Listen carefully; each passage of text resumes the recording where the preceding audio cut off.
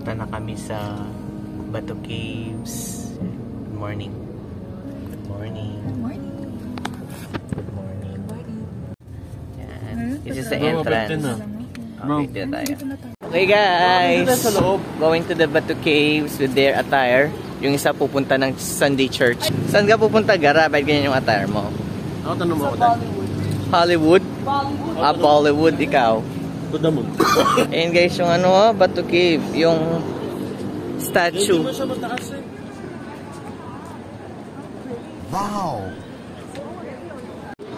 Hey, monkey. Monkey, where are you going, monkey? Monkey. Monkey and the pigeons.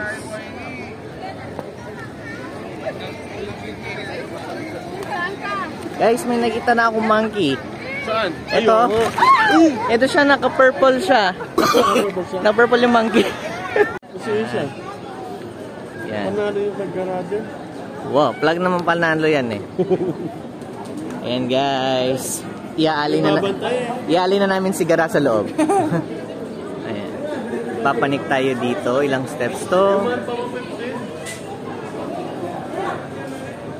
Yun guys, kapag babae ka, dapat na cover yung ano mo, pa, legs mo, tsaka yung shoulders mo. So, women should rent a scarf which is 15 ringgit. Yan. Eh si Sigara naka off shoulder, si Isa naka short. So need nilang kumuha ng scarf para makapanik dito sa ating stairs dun sa cave. Transformation. Yan o. At saka yung kay Isa. Naka ano na siya. Meron na siyang scarf. Yan. Ang papanikan natin guys. Ready na kayo? Let's go! Step by step. Step by step. Alam mo yung sa dito Going there. Alas na din tayo niyan. Wa- Mga 20 lang. Eventually. Yung mga pagod. Mga pagod oh. Mga pagod yan. Inside the Bato Caves. Wala.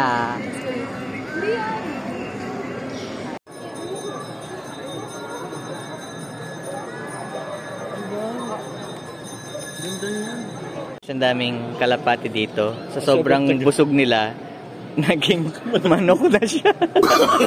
Natalisod lang siya, hindi siya makatayo. What happened, chicken? Baka inalay siya. Na-stroke na siya. Hindi siya makatayo. eh. Hindi nila siya makatayo niyan. Tatayo na siya. Oh, di ba? Yung pahirapan na papanik. Pahirapan pa pababa. Hindi na tayo, hindi na fresh, no? Hindi na. Hindi na tayo. Hindi na tayo magmaano. How about you? How are you? Pwede na akong gumawa ng wonton noodles. Tapos gutom pa. Lolo, ikaw na sasalba sa amin.